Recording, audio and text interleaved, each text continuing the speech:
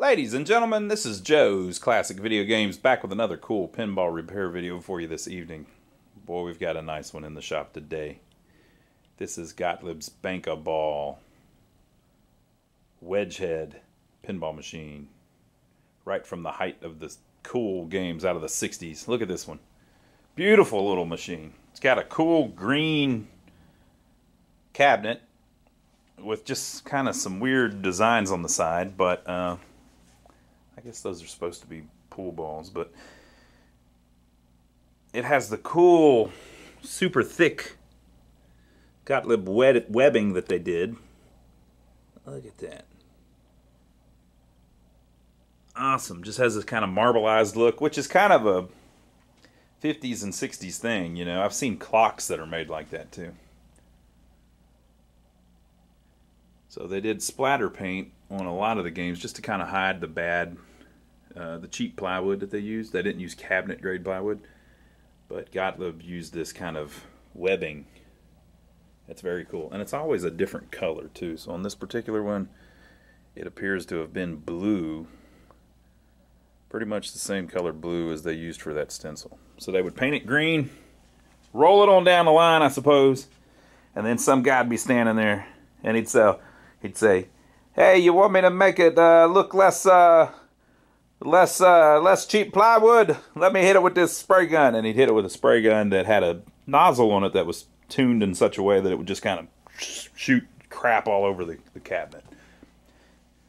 And it gave it that cool marbleized look. And all these years later, here it is. So it's very cool. I, I just I love that kind of the way they did those cabinets back then. If we we've got a uh, firepower over here from years later. And by then they were still stenciling the cabinets, but there's no splatter paint. You know, of course that's a black one though, so maybe that's a bad example. Here's a uh, Sonic Prospector. This was made in Spain actually, and there's no splatter paint on these cabinets either. But you can see, since there's no splatter paint, you can see every little imperfection on the cabinet.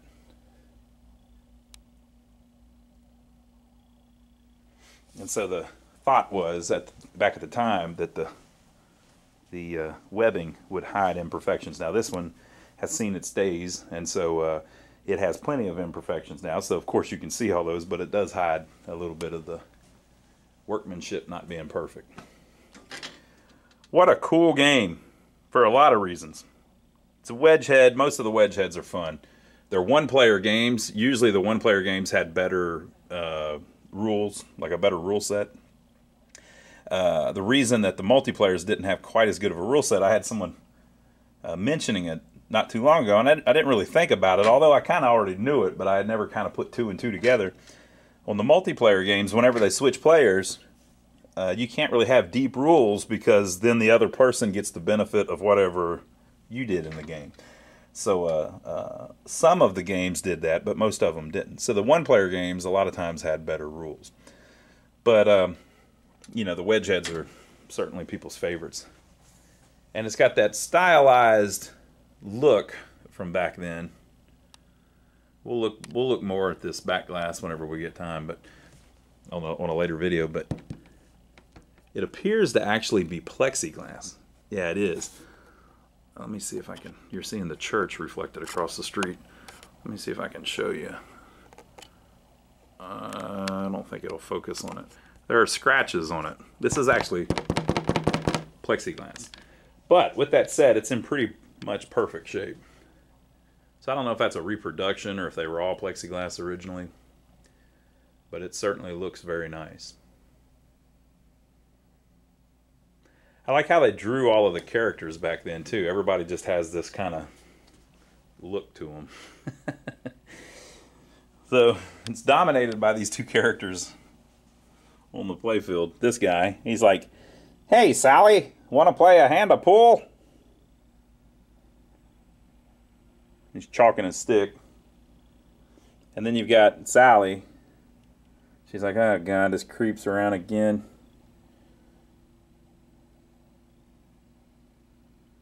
And then you get this chick.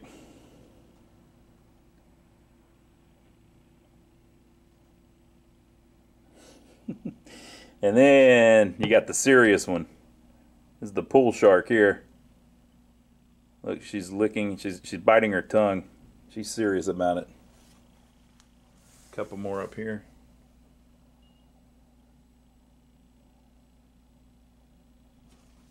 And then this guy trying to blow the ball in. What a cool game. But this one is regarded too as being uh, one of the most uh, desirable of these wedge heads. People really like this one. It has an animated back box. So some of the games back then had special things that the back boxes did. We we previously did a uh, a Gottlieb uh, masquerade that had a doll in the back, a, a, ba- a ballerina in the back glass that spun around and stuff. Very cool. Uh, just something, little something going on in the back box. Well, on this one, when you uh, get one of the numbers, it corresponds to a pool ball, and the pool ball drops in the back. See the little balls?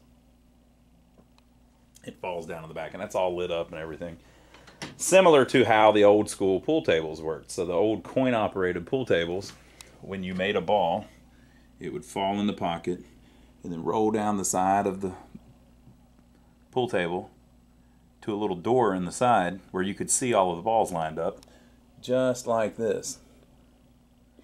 And then uh, they had a coin slot in it where you could slide the the um, coin in and make them all fall back out. Um, so very cool. I guess this was probably just a version though that uh, the you didn't have to use coins to get the balls out of the pocket. But very cool.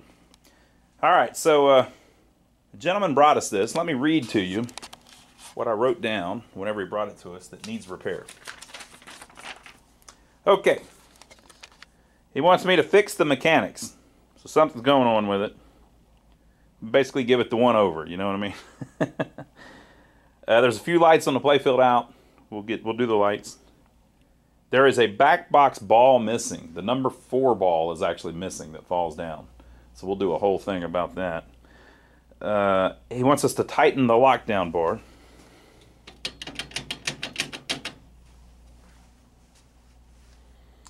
And um, that's it. So that's pretty much what's going on with it.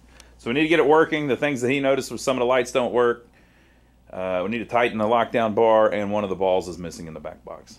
So, what we've been doing lately is plugging them up and just seeing what condition they're in when they come in, just so we can kind of watch as we go through and see uh, what we get accomplished.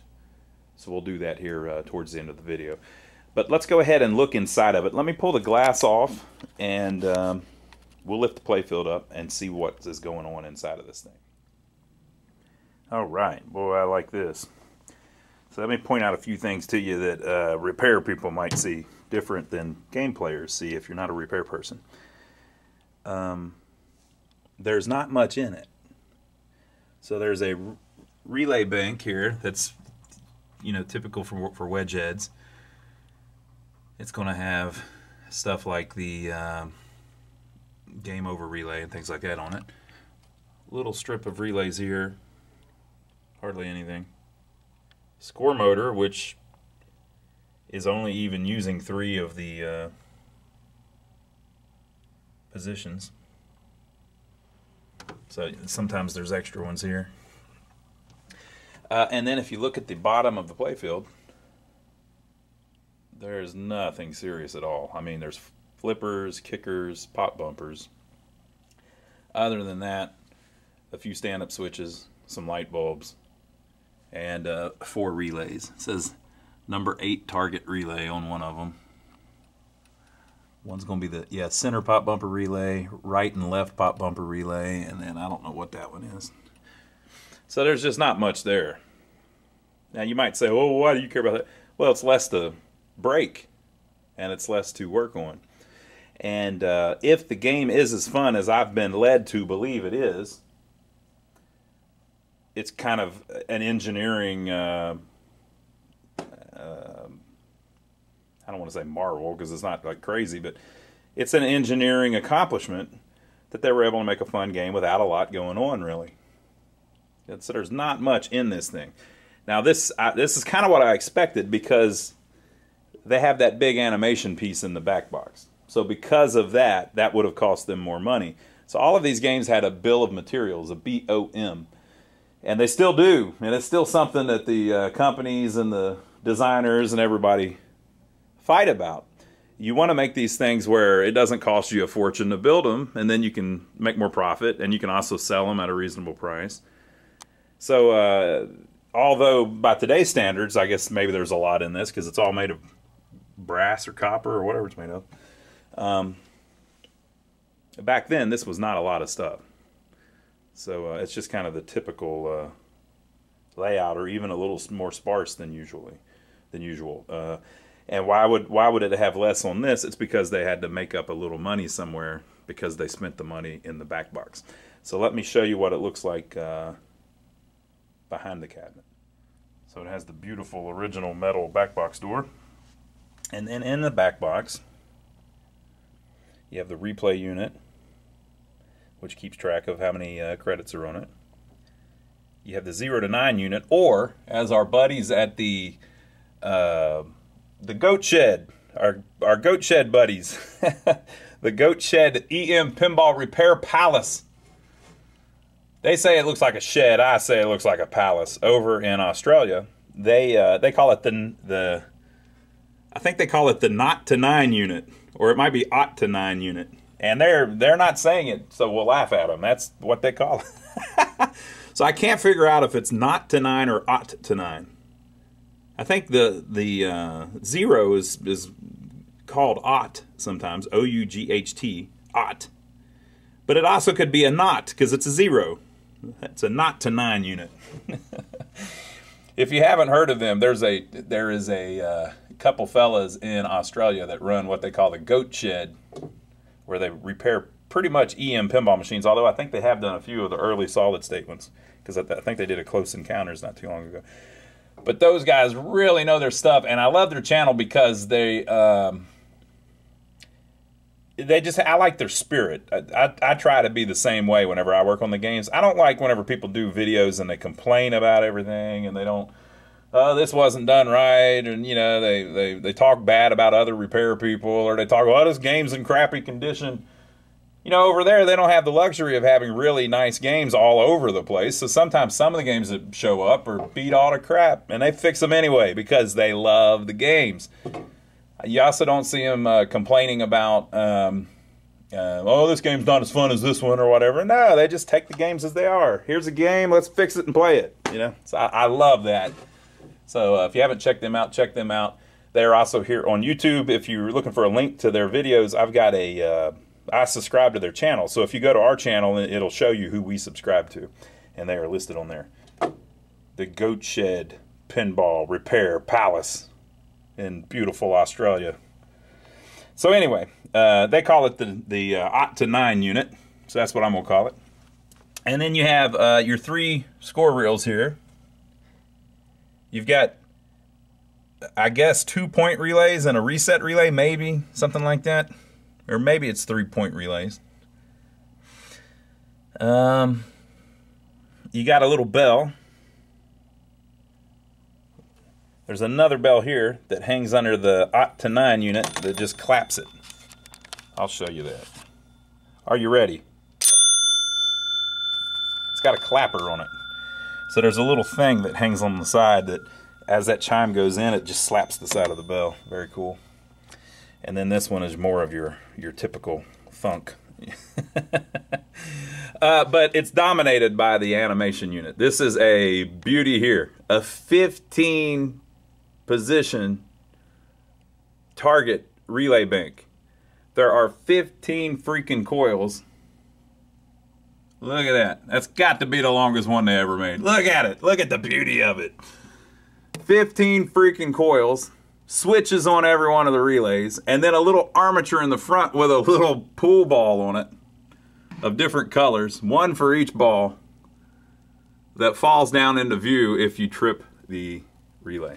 So there's a, you know, if it tells it, all right, they made ball number 12 or whatever, there is a coil in here. Bam!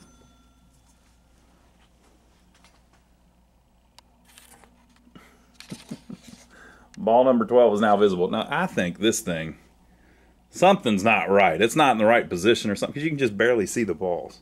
So we'll figure all that out, though. But uh, that's my point. They, they had to put this huge relay bank in there, and they had to put those specially designed balls on the armatures and all of that. Uh, so that would have cost a lot more money. So because they had such a cool little gimmick, whenever they did the playfield, they were in a little sparse on it. They just got a lot of targets you can hit to to knock the balls down because that's kind of the game. That's the whole game there, right? But even with that said, I mean it's still a full playfield. It's just there's no crazy gimmick on the playfield or anything.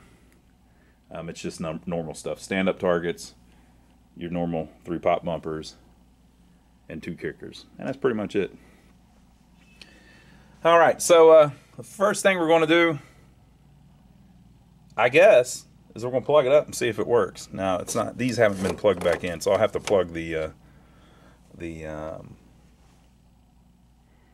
Jones plugs back in and, and uh, then we'll plug it into the wall.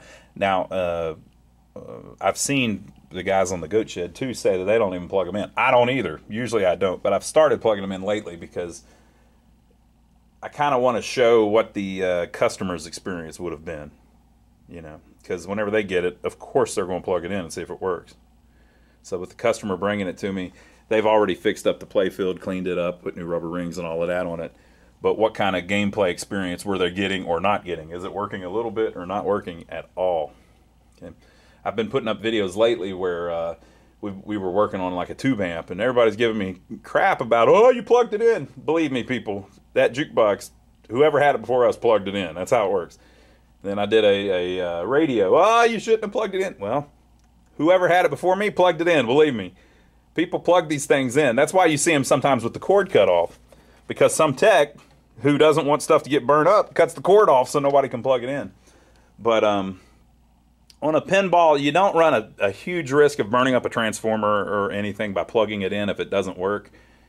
Uh, it's just likely the motor's going to come on and do its thing, and the game's not going to work but you'll you'll hear the motor spinning or something. So uh, so that's where we're at. So let me plug in uh, the stuff back to this board. Whenever they brought it to us, they probably had it in two pieces, or I know they did. Um, and then we'll see what kind of uh, action we're getting out of it right here from the beginning. Okay, so he's got it so cleaned up. I'm thinking maybe some of it works. I went ahead and plugged it all back in. All of these need cleaned though, but I went ahead and put them back in just so we can see what kind of shape it's in coming in plug her up. See if we get anything. I haven't worked on a wedge head in a while. I don't even know if they have power switches. They do not. Do they have the left button thing? It does not. Does it have the start button thing? Here we go. Are you ready?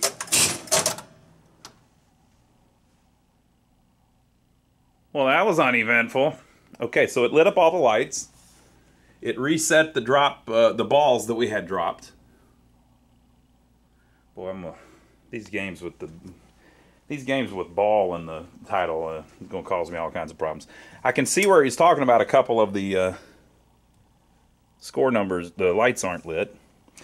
Um, now that I look at it, I see something here I really don't like.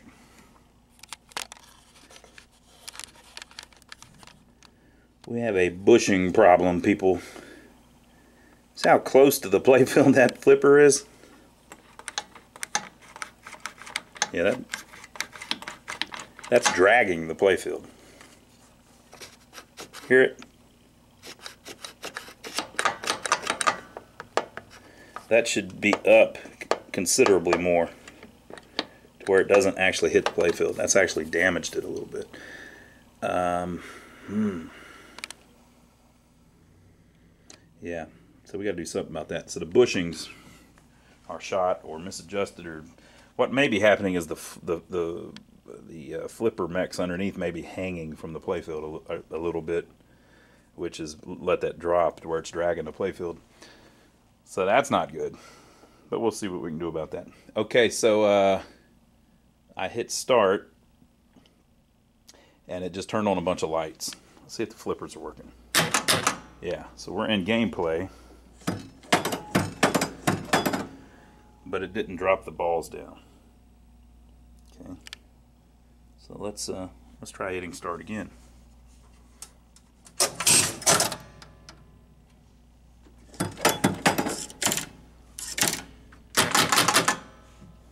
I shouldn't be doing that. Okay, the flippers are working.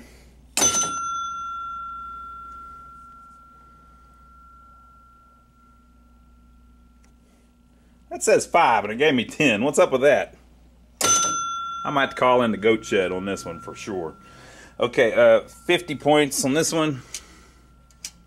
It's not working. It's not working. Okay, so that was the six. And it did drop the number six ball. So some of the stuff is working properly. 13 dropped.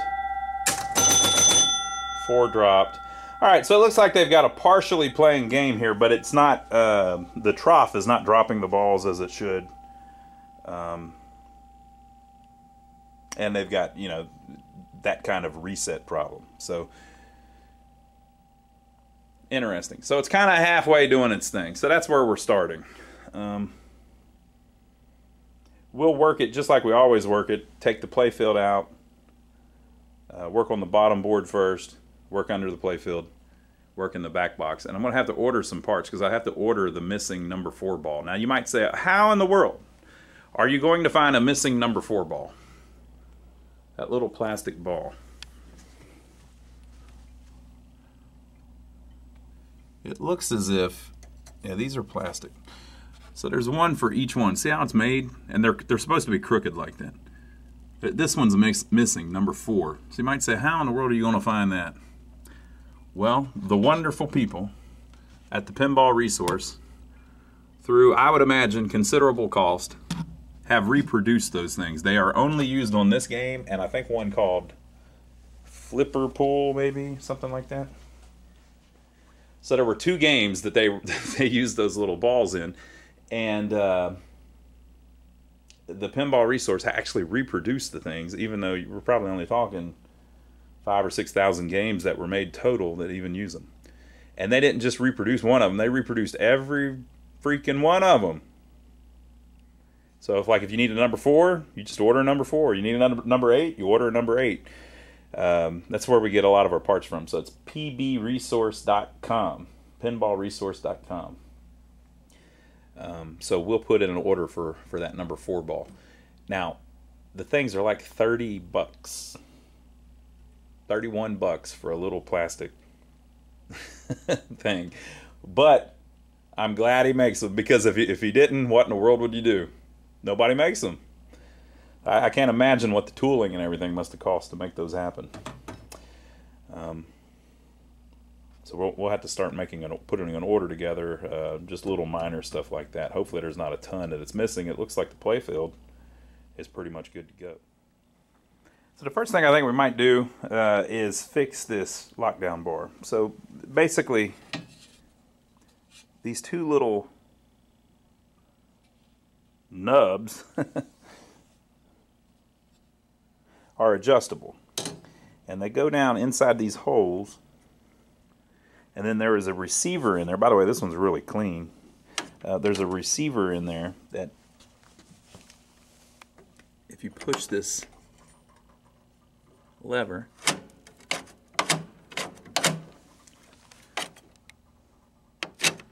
it moves a little mechanism inside of there that makes them grab the little nubs. Look what this says on it.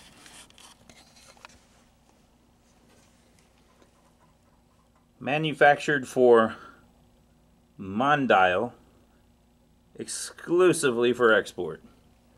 Very cool. I've never had one like that. Okay, so this one's been overseas somewhere. Let's see what the... I wonder what mech that is. Is that just a dime? Interesting. Okay, so uh, whenever it doesn't fit right, it's because that little nub is either too long or too short. So ours is loose, so it's too long. So what's going on is this little piece here is catching it to hold it in place, to lock it in place. It's a lock bar. But since that's a little bit too long, it allows you to wiggle it. It doesn't actually pull it down with any kind of pressure. So we need to tighten that up. So how do we do that? Well, there is a little lock nut on there. You loosen that with a wrench, keeping in mind where the uh, head of the screw is. So it's pointing at about 2 o'clock. And then you turn it in a little bit, maybe turn it to 4 o'clock, and then you tighten the nut back up. So we're going to do that and see if we can get the fit just a little bit uh, more steady. Okay, so the little lock nut is a 7 16ths. Okay, so you turn it. Now when you turn it, a lot of times you're going to turn the screw too, so that's why you need to kind of know that it was at 2. And we're going to turn it to about 4. Oh, like this, you know. so we're, you know, we're turning the whole thing by doing that. Basically, once you loosen that, you'll be able to go farther in. You know, If it is locked together like this, it'll just turn the lock the nut up with you. Look at this look at this wrench I found in the back. We got a whole drawer full of wrenches, so it's an old 7 16th.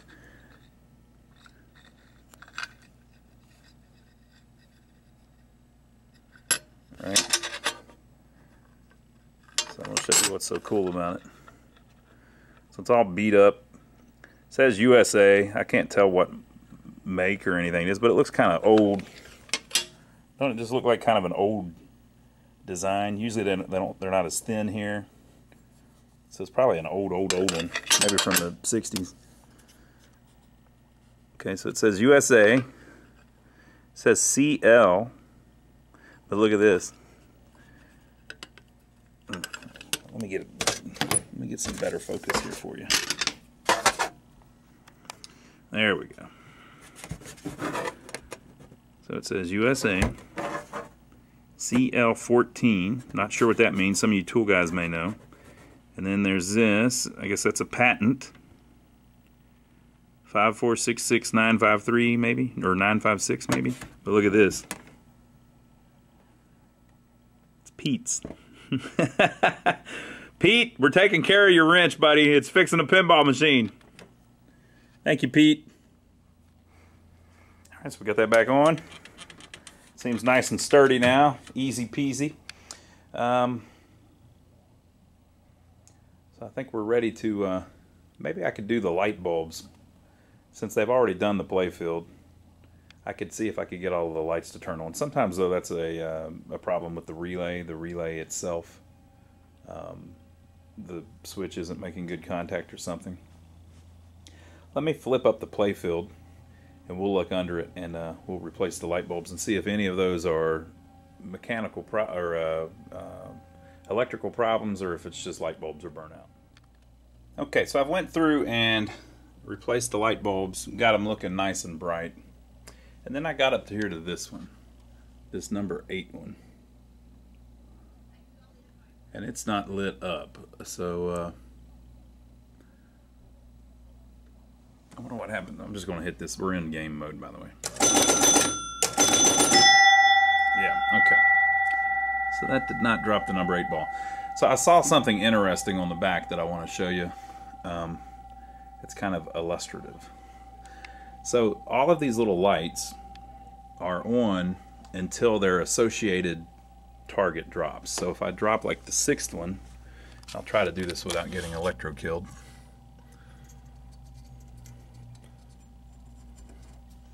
So if I drop the sixth one, what is it? One, two, three, four, five. That's the seventh one. Okay, so I dropped the sixth one. Where is the number six light? Yeah, just what I thought. See how the light is still on? But the number six ball has dropped. Let me show you why that is. It's because someone has went through and done all of these wrong, every one of them. it's not a big deal, easily fixable, but they've got them See how these switches are pushed way up in the air? I, I should have noticed that earlier whenever I was showing you it. See how the switches are pushed way up in the air on top of that bar? That's not correct. Now you don't need the schematics to figure it out. It's just they're in the wrong spot. Now look at this one. So that is number 15, 14, 13. That's number 12. Ball number 12 is actually right.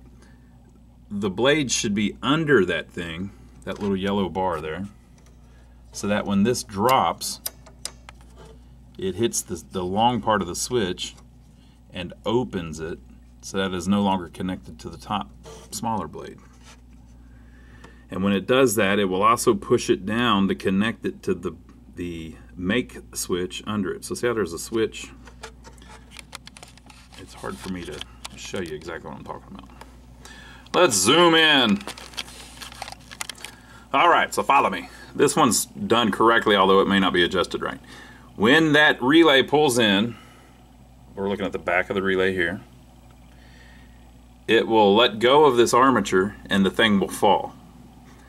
The number 12 ball is some kind of plastics thing that they rigged up that they designed uh, will then fall down into view on that window. But that's how it all works. That armature falls. Well they have the arma the armature is actually used in tons of Gottlieb games so when that falls that little yellow bar there should make it where th this these two switches are no longer touching each other because the bar will physically hit the longer of those blades both of them and push them down into the smaller blade underneath. This is wrong. So whenever the whenever the blade is on top of that armature, yeah, it's connecting them, but look how much it's bending them. It doesn't need to bend them all like that. That's crazy. I didn't notice it earlier. So let's drop uh, that one and see what happens when it falls. Okay. Okay, so it has dropped it, but they're still connected. Okay, so that's a really common thing that you see in games. What happened there? We actually we uh, activated the relay, but it didn't make the switches change state. They're still closed. So they were closed, and they're still closed. So what's the point of the relay? It's useless. All it did was make the ball the ball visible down there, right? But it didn't actually change the state of the switches. That's how you know it's wrong. You don't even need the schematics. You don't need to understand it. It moved and nothing happened. Nothing changed. So this one, I don't know if it's if it's adjusted correctly, but it's at least in the right spot. Okay, so this one is under the blade. So with it in the top position right now. Oh, wait a minute. Which one are we doing here? Let me make sure I'm doing the right one. Yeah. So this one is under the blades, which means since it's in the reset position, it's pushing the blades together. When it falls, oh, and look at the one under it. When it falls, well, if I can find it, I'm on the wrong one. I'm working blind here, people.